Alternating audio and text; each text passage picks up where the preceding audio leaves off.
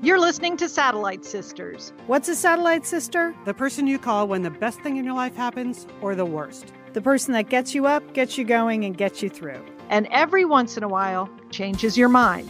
This podcast is part pep talk, part weekly check in. Like grabbing coffee with a friend. Thanks for being here. Welcome to the Satellite Sisterhood.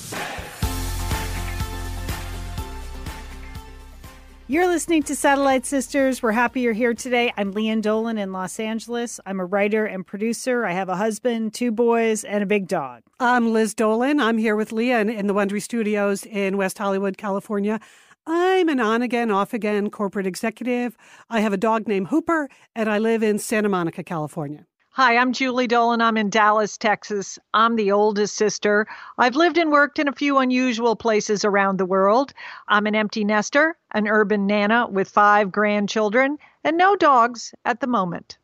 We are so happy that you're here listening to our holiday special on family dynamics. If you're new to Satellite Sisters, just attracted by Alan Alda, and who doesn't love Alan Alda? Who doesn't then, love Alan Alda? Uh, fantastic. We're so happy to have you here. If you're interested about us, you can go to satellitesisters.com. But we decided to do this bonus episode because we know a lot of you are getting ready to gather with family and friends throughout the holidays, and we wanted to provide some inspiration to make the best of that time.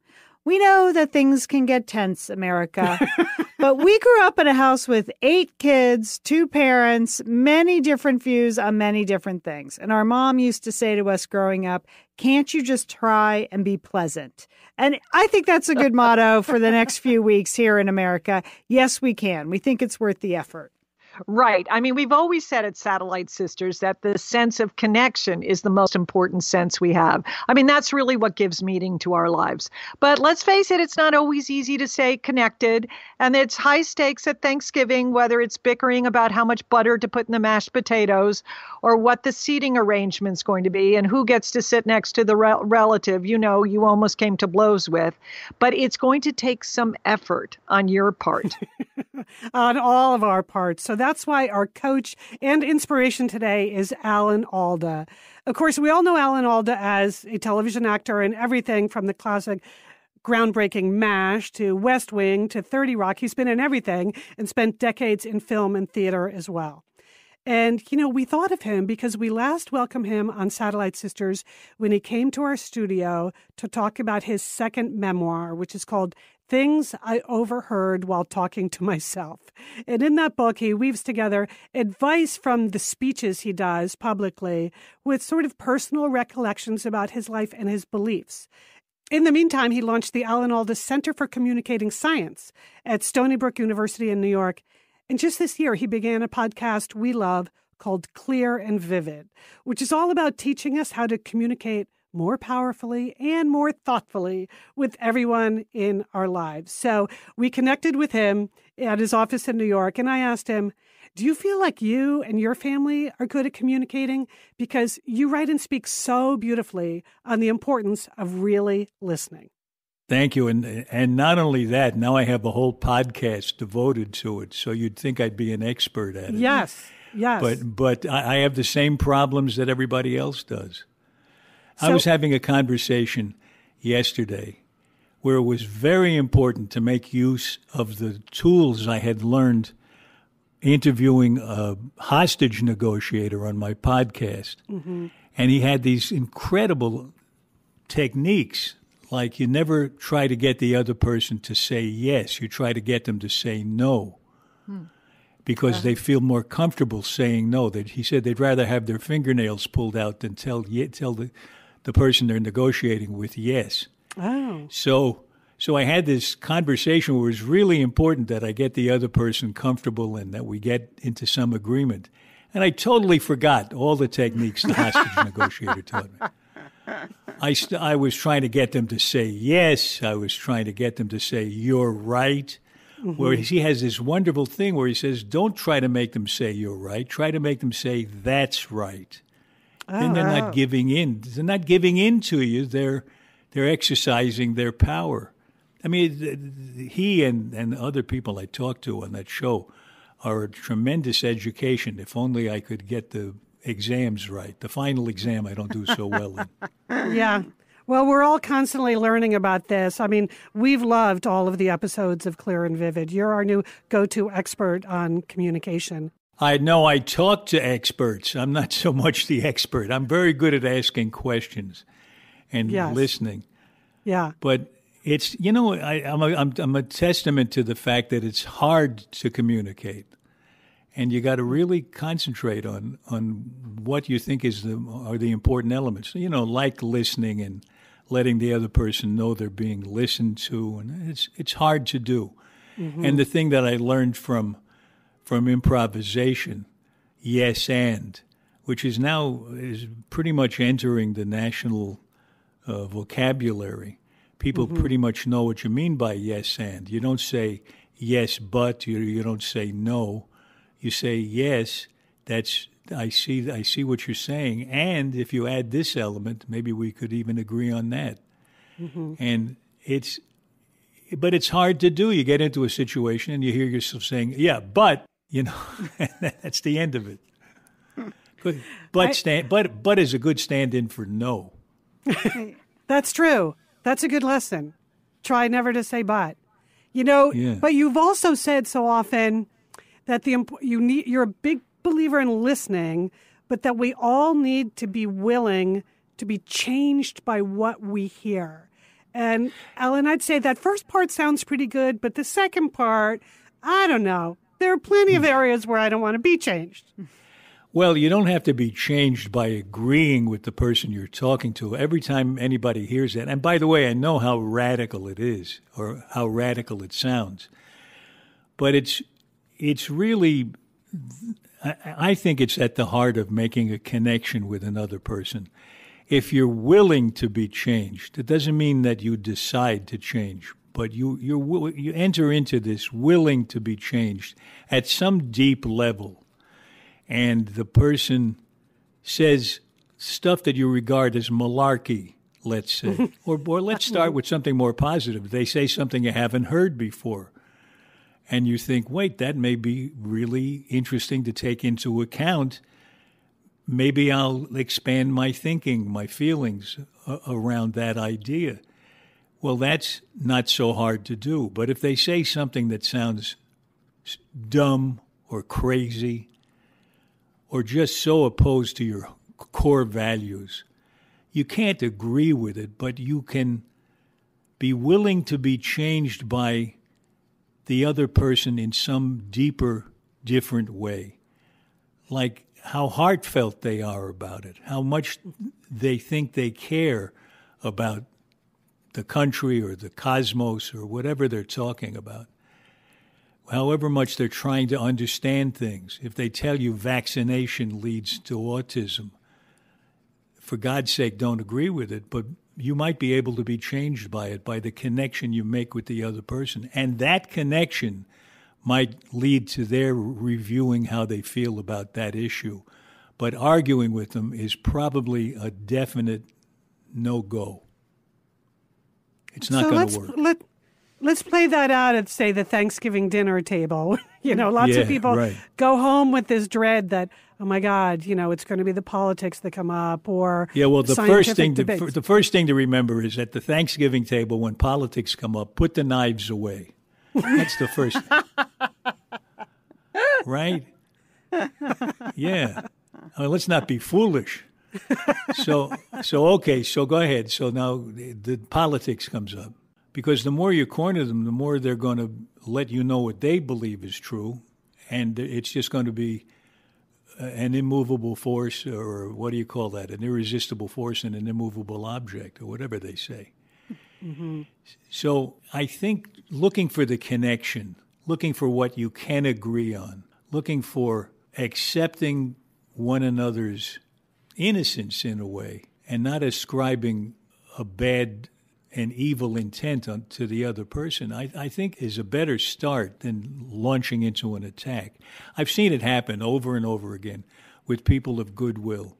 As soon as they hear two words from the other person, they know exactly where they stand on everything, which is not necessarily true. And they argue against the stereotype instead of talking to the person in front of them. Mm-hmm. I, I think that's so true. I, I, Lian, you have a question? I was very moved by your interview with Father Greg Boyle, who is one He- of my heroes. I love He's him. he's and great. He, oh, could you make him the Pope? Can, what can we do? Can we get that? We're to- campaigning.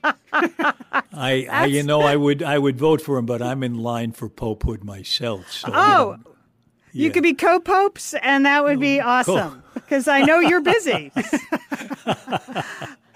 So what but- about him? Tell- What, what did you Well, What did you learn I, from that? I actually listened to the conversation twice because I had to go into a very tough situation. I was nervous about some, being with someone I hadn't been with for a while, and his advice was try tenderness. He said Hmm. something like communication or understanding is the goal, but tenderness is the methodology. And Hmm. I thought that was brilliant because you you just don't think of tenderness as a communication tool, but it was a very loving, thoughtful, very humble place to start. You And know, don't a you- communication with Don't someone. you think that would be a good way to approach crazy Uncle Louie at the Thanksgiving table? Yes, I mean, uh, if he's especially if he's Uncle Louie, he's an uncle. He's somebody you're related to, somebody you want to have a good relationship with. And I think Father Boyle's idea about really going for tenderness is a great idea. Should be easier to do with a relative than with a stranger. Yeah. And part of that point is also about humility. And I think that's what we have a hard time with with people we think we already know we disagree with, right? So we don't go into a conversation with them trying to be tender and humble. We do exactly the opposite, trying to prove a point in some way that we've never successfully done that done before. Yeah, but you it's true. I that's where where I'm headed. But I think you started off with a really good approach, which was to be almost cynical about this because it sounds touchy-feely. Therefore, it doesn't sound legitimate to me. But if you think of them as techniques to try and really see if they work, and not as something where you go all gooey with the other person, which is not not really productive, I don't think. But a true, sincere effort to meet them at some level, on some ways, at some place where you can find agreement. I think you have a better chance. Mm-hmm. It's good advice. You know, no matter who your guest is on Clear and Vivid, whether you're talking to an author or a scientist or that hostage negotiator was fascinating. You, Alan, you always come back to the importance of empathy. And so, what does that mean to you, and why is empathy so fundamental to the way you approach these communications?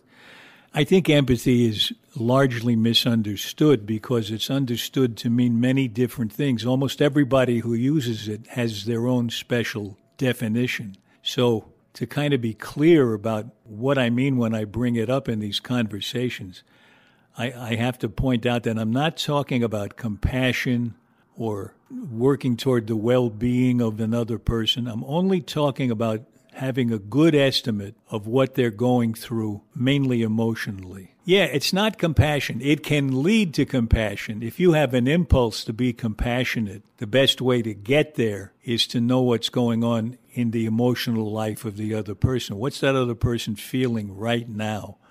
Uh, some people include in the notion of empathy what they call cognitive empathy, which is having an estimate of what they're thinking. But it's only going to be an estimate because you can't really be inside somebody's head. But to a great extent, to a surprising extent, you can read another person's mind if you pay attention to their body language, to their tone of voice, even their choice of words. What are they leaving out? Where are they looking when they talk to you? What are they going through? And when you connect with what's happening inside them, you have a much better chance to find agreement, to find ways in which it's not necessary to be at one another's throat. Do you think you learned these skills and you're good at this because you're an actor? Yes, I do. Huh.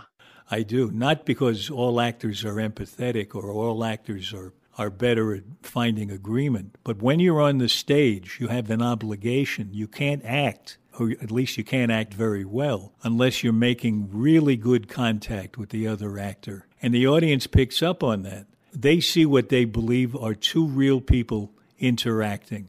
And that only happens if you're really tuned into the other person, really reading them as fully as possible.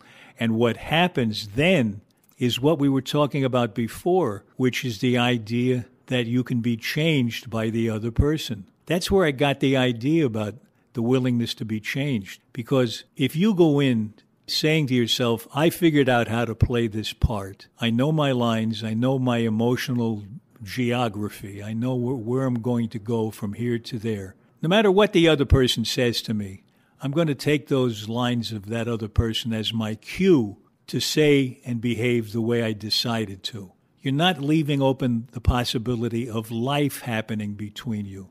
Life happens when you actually are changed by the way the other person behaves toward you or the way the other person says something, the, the tone of voice or the, the emotion behind it. If you fail to let that in and let that change you, then you're just giving me a report. You're giving the audience a report about how you decided to play the part. You're not in it. You're not doing it. You're not alive. I don't want to see a report about what you figured out last night. I want to see life happening right now. And that, I think, can be translated into human interactions off the stage as well, at the Thanksgiving dinner table. Sure, you can imagine in any family dynamic. I'm thinking about our family. There are eight kids in our family, and it it is. If you're not careful, it can be a performance because you're kind of locked in.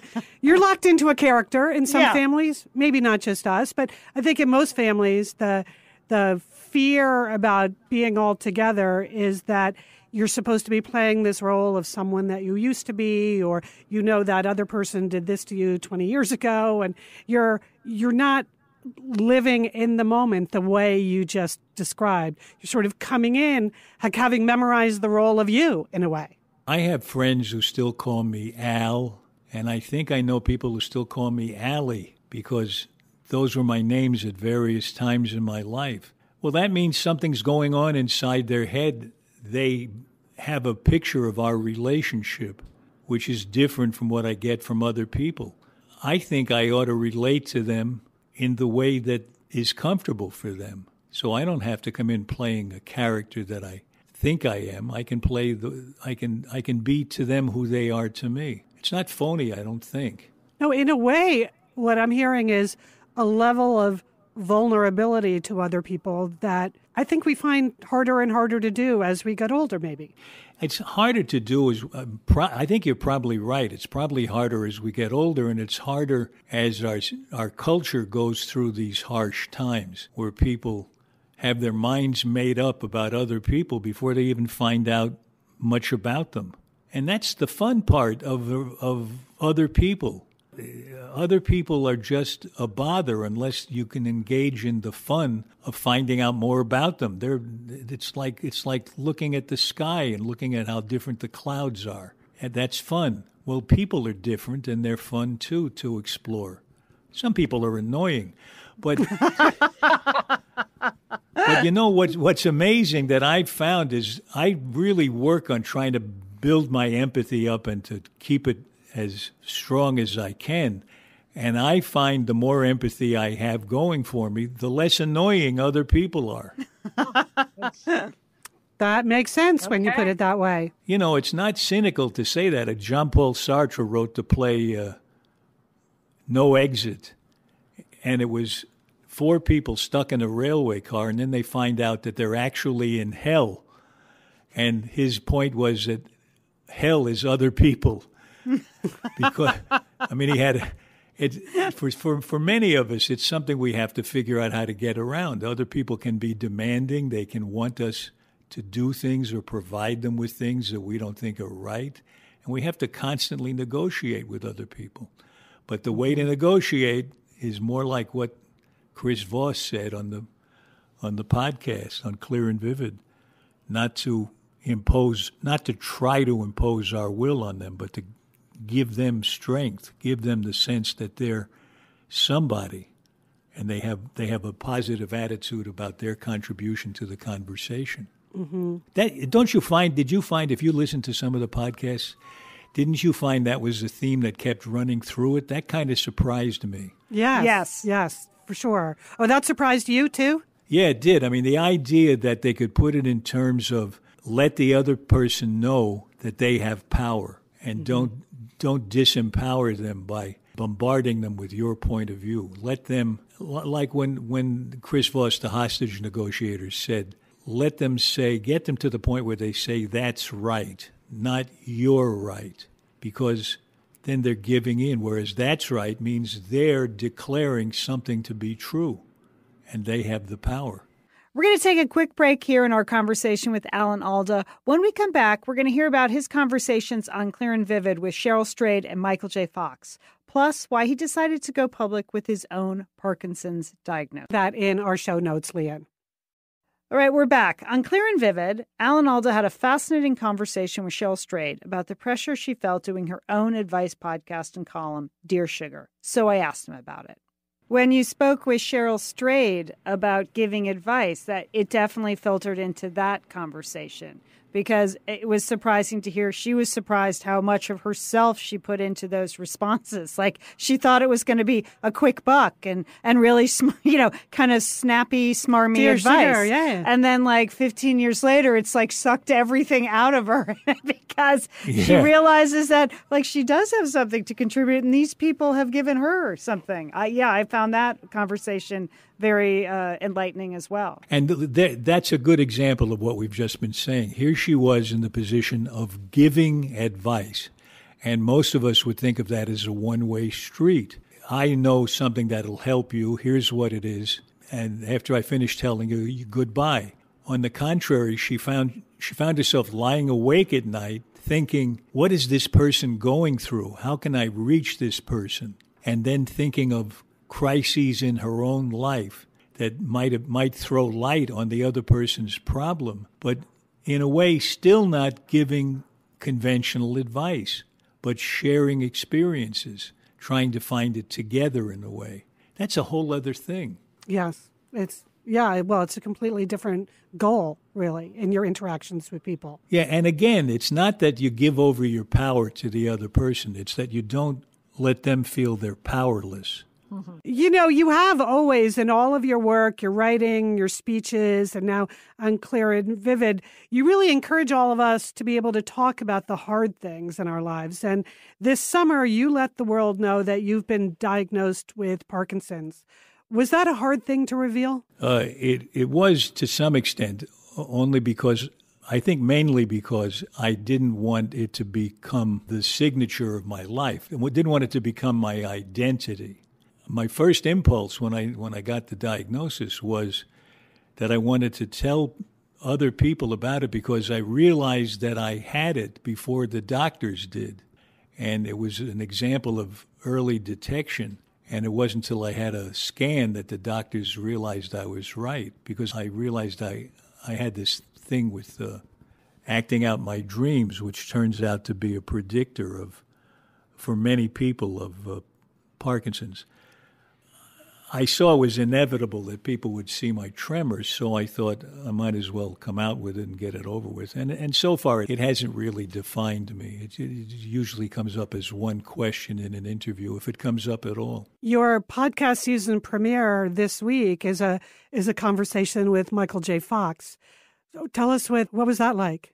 That well, that was a wonderful conversation. Michael was one of the first people I told that I had the diagnosis and even though I don't want to be a, a, poster boy for that disease or any disease, I thought it would really be fun and helpful if Michael and I talked on the podcast about our experiences. We have a couple of fun strains in the conversation, a couple of threads where we compare notes on how we get our shirts unbuttoned. and, you know, it's there there there are special problems you have and it's fun to talk about it with somebody who shares the problem but you do have to adjust. You have to make adjustments but you got to make adjustments in life just to stay alive. You have mm-hmm. to adjust to getting older. Your body parts rust and fall off. You got to get used to that. I assume for both of you both you and michael j. Fox that humor helps you get through some of these harder moments. And we've always felt that way as a family. When we when I think about our family dynamics, I think I'm very grateful that there are times like in the difficult, darker times that we we can usually find a way to some humor. So what do you what do you sisters do? Do you get together at Thanksgiving and what's that like? Do you have an Uncle Louis that you have to work with? Yeah, well now both of our parents have passed away now, so it's it's on us to get together. So we often see each other in smaller subsets. So this Thanksgiving, Lian and I will be together, but Julie, you'll be with your grandchildren in Dallas, right? That's correct. Yes. Yes. And we'll be talking about uh, we'll be talking at our Thanksgiving about their Thanksgiving, um, Alan. Yeah. Yeah. Competing. what what you'll be talking at your Thanksgiving about their Thanksgiving? What do you mean? Whose is well, better? we're competing. Who can do it better? We're very Oh,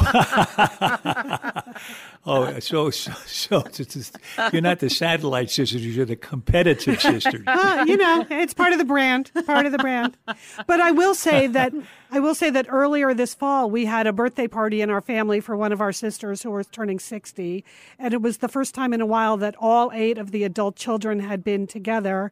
And there were some trepidations. Not everyone always gets along perfectly. So I think all of us had to kind of rise above a little bit and and rally and it was it was such a pleasure to all be together, but I know that that wasn't necessarily easy for everyone in the moment. And it's good to get together for a happy occasion because there are plenty of times when you get together for sad occasions, you know. I know, and to take especially Thanksgiving, Thanksgiving, which probably most people regard as one of the best, if not the best, holidays because it's mainly people getting together and expressing thanks for the things in life that are worth thanking for. But to turn that into a brawl is a shame. Yeah. Okay, well, we're going to try hard.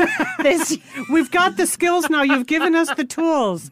The no knives. Yeah, but the but I'm like I'm like the Wizard of Oz behind the curtain. I'm no good at it all the time. Being willing to be changed is the same thing as getting an education. Mm-hmm. I mean, you don't go to college to have the same ideas you went in with.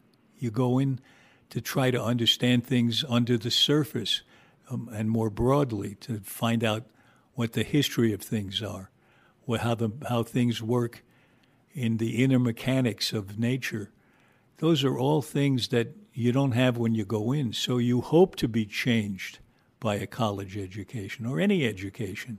You hope to be changed if somebody's helping you with your golf swing or your tennis racket, right? Right. It's not such a far fetched idea. Travel does the same thing. That really Eh, Sure, yeah. And there's no reason that conversation can't be the same thing, even when talking to somebody you're pretty sure you don't agree with. Well, you know, the slogan for Satellite Sisters has always been not every conversation will change your life, but any conversation can. So I think we're on the same plane here. I know it's getting boring. okay, so there's one last thing. We're trying to get people, You know- in- we're trying to get everyone who's listening to this in the right emotional headspace for the holidays. Like that, we want them listening to this as they're traveling home for Thanksgiving or Christmas or New Year's or whatever their family Or, and friend or e- celebration e- is. even three hours later when they're traveling back home and they've skipped dinner because the first few minutes didn't work. So, okay, so what's your last piece of advice you would give to people or the thing you want them to have uppermost in their mind when they walk into that home where their friends and family are for the holidays? Just listen and smile and have fun. Find something to have fun about. Laugh. Laugh. Laughing is good. Laugh. Yay. Yes. Okay. We will leave it on that note. Alan Alda, thank you for being such a solid gold satellite mister. We prescribe episodes of Clear and Vivid with Alan Alda during your holiday travels, no matter who you are, and we will have links to that in our show notes. Thank you so much for doing this with us today. We really appreciate it. This was just like last time. So much fun. Thank you, all of you. Thank Thank you. you. Thank you. Thank you. Bye bye. Happy holidays. Bye bye. You too. Bye bye. That was great. I, I just love him. I just love listening to Alan Alda, don't, don't you? Just his voice. Yes. It's so soothing. Uh, so we're going to take a quick break here. And when we come back, sisters, We need to talk about the lessons we'll take away from this conversation. Were we open to really having our minds changed? Hmm, let's just see about that. All right, Liz. I yeah, I feel like I don't know. I feel like maybe, but we Okay. can discuss. We can discuss. I want to remind listeners that we do a weekly show. We have literally hundreds and hundreds of podcast episodes. You can go to satellitesisters.com, satellitesisters.com, and use the search feature. If you want to find our first Alan Alda interview, it's there. I also want to draw your attention to a recent interview we did with a mother and a, a writer named Maureen Cavanagh. She saw her daughter through an opioid addiction.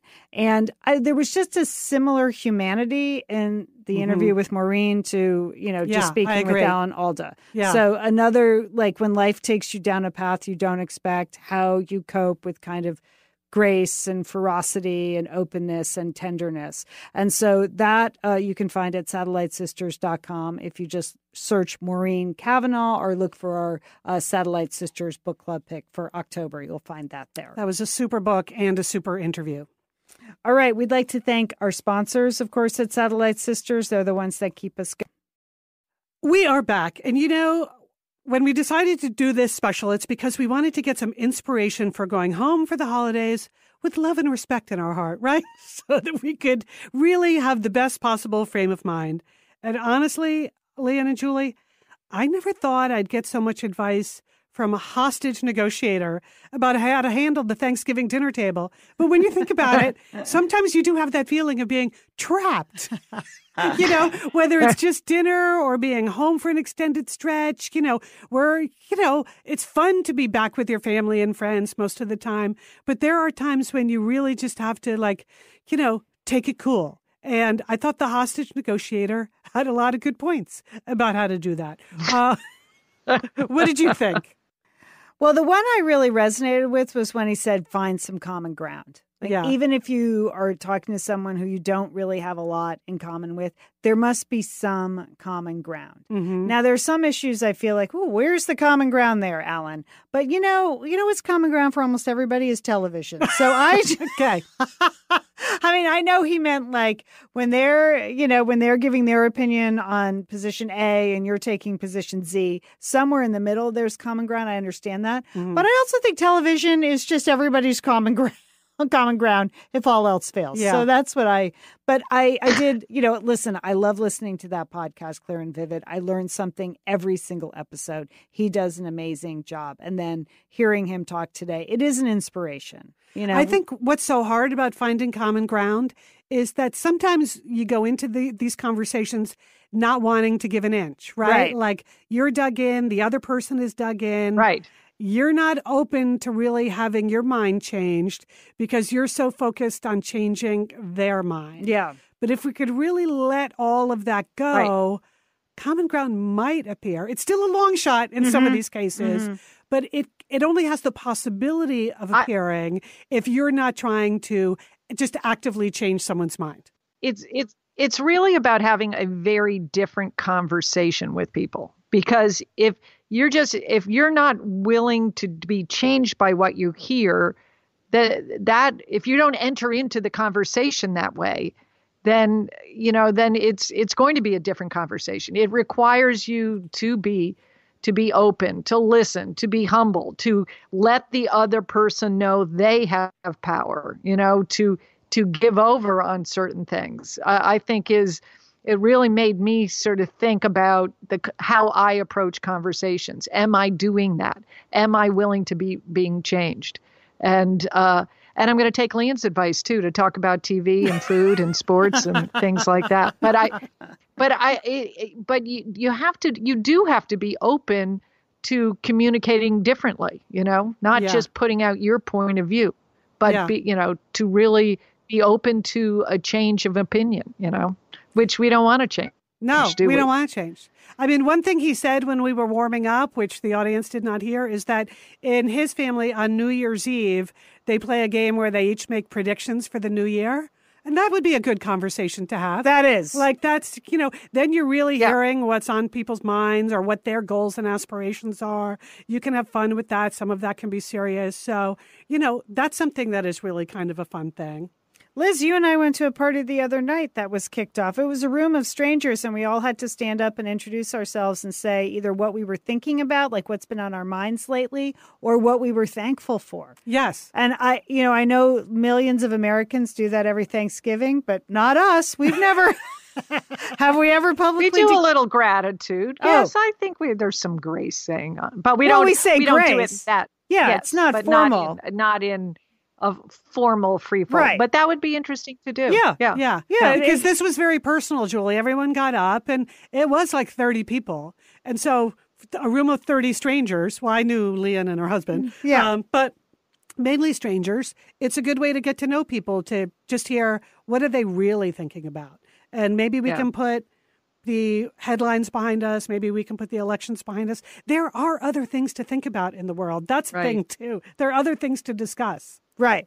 Yeah, with this group, the, it was not a super political. People people were No. much more personal than political. Uh, that's what I would say. And so I, I thought it was And a I good- think- good gambit. Yeah, and I also think his point about emotional empathy, you know, really really trying, you know, as he did as an actor getting into the role, you know, into roles, he would really have to think about the emotional makeup of his characters. But if if we stop to do that, you know, in our daily conversations, that that's that's a big thing we can work, you know, that I can work on. That was it was inspiring. I, I can't say I'm going to do it all the time, but I know. I'm inspired by it. you I know. Because half the time, I really don't want to hear what you think. That's very I will honest, admit that. Liz. That is part Yeah. of the problem. Oh, mm, really, yeah. on certain subjects, I am not interested in your opinion. Ah, ah, so, like, how do you? I don't know. How do you dig in without just changing the subject? One key, though, and I used to practice this, like in the corporate environment, and I think it's even more important within a circle of family and and friends. Is not ascribing evil intent to people's opinions, right? Yeah. Because that's a way we have of demonizing even the people that are close to us. And Yes. maybe there are lots of reasons why people believe what they believe. And it's not necessarily because they're a bad person. I, I mean, it might, it might be, but you can't assume mm-hmm. that they have some evil vision for the world or they are an evil person. And I think sometimes we associate certain opinions with bad faith. And maybe if we could just, again, like when you're at the table, get rid of that assumption and explore a little bit more, you might Yep. you might have your mind changed. I Right. mean, I on most things I doubt it, but I'm open. I'm open. All I can think of when you said that was if someone really did an impassioned plea for cats versus dogs. you know, I you think, are not hearing it. I'm not. I'm not hearing it. Um, but I'm willing to Not listen. even a little bit. I'm willing. Not- actually, no, I like cats. They're very Yeah, nice. yeah. I'm just allergic Yeah. to them. I know why some people like cats, but that doesn't mean you have to like them. Right. Right. Everybody has a right to a cat. Here we are Hey, in a Liz, family I of think dogs. you're clamming up. Okay, Liz, I think you're clamming up on us. Don't do it. Don't go there. the, Stay open. Yeah, I am going to try to stay open. So, you know, Julie, you're always good at wrapping it up for us here at Satellite Sisters. What would be your closing thought of this discussion? Because we started by saying that we're always about the sense of connection and trying to maintain that and nurture that. Anything else you want to close with? Well, you know, it came up earlier, but I don't I don't think you can say it enough. You know, we say on Satellite Sisters that not every conversation will change your life, but any conversation can. Mm-hmm. Mm-hmm. Now we just have to live it. Yeah. Mm. Okay. It's been No, a it's true. slogan, but now, now it's now it's more than a slogan. Yeah. that's true though. It is Yeah. true. In the true sense of conversation, which means listening as well as talking. That's the dilemma. Exactly. Liz, I just want to let people know we do have another special coming up. And this, I think, is one we can all come together on holiday food and entertaining. Yes. So, yay. Next week, right before Thanksgiving, we'll be posting our holiday food and entertaining special, where we'll be just sounding off on some of our favorite recipes, our favorite food traditions, memorable meals we've had around the holiday. We hope it's great listening while you're preparing your own family meal. Yeah, yeah, I'm looking forward to recording that. And you know, you can also visit our website where you'll find our shop and our archive. Lian talked about the Maureen Cavanagh uh, interview you can find there. Believe it or not, we've got 800 shows there just waiting to entertain you. And you'll also see in our show notes here the links where you can join our Facebook group and how to follow us on Twitter and Instagram. We would like to thank our sponsors for this show. Many thanks to Rothy's, many thanks to The New Yorker, and to our new sponsor, Green Chef. Happy to have you on board here at Satellite Sisters. Special thanks to our engineer, Sergio Enriquez, and thanks to Alan Alda and his team at Alan Alda Communications for oh, making so this happen. Super, super happy to have this happen. Remember, his Michael J. Fox episode dropped this week, so that's going to be a great one. We're the Satellite Sisters. Don't forget, call your satellite sister.